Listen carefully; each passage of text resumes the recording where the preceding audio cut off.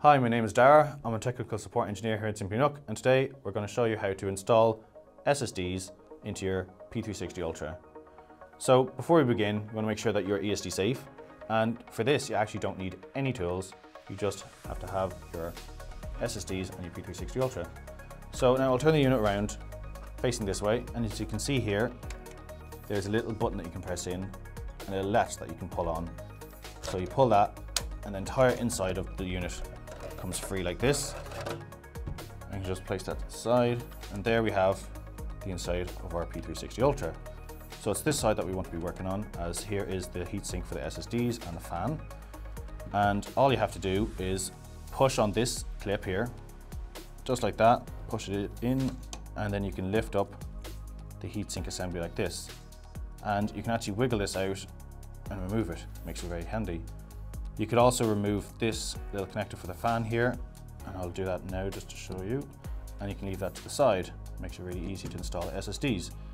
So here I've already pulled up these little plastic clips as there are no screws or standoffs on these, there's just these little plastic clips that hold in the SSDs. And before you install the SSDs, make sure you remove this plastic film that's covering the uh, thermal pads this is a very slippery material. There we go.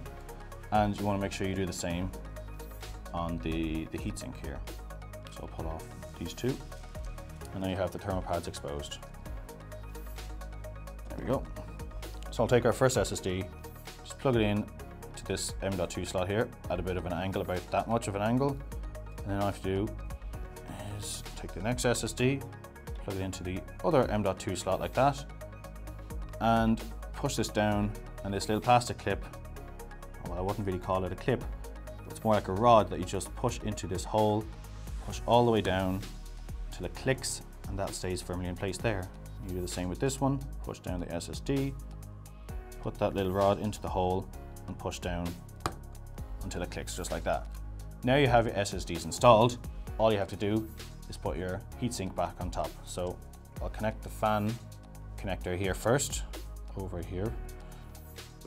That's that in. And then these two little clips kind of slot into the hole here. And I'll show it this way. This just tilts down, you push it in until it clicks, just like that. So now you've got everything installed, you want to lift up your unit and read that says top on the top of the unit. Grab your chassis, on the side here. Push it in just like that so you line up these rails and then just slide it in until it clicks. that's all there is to it. Thank you very much.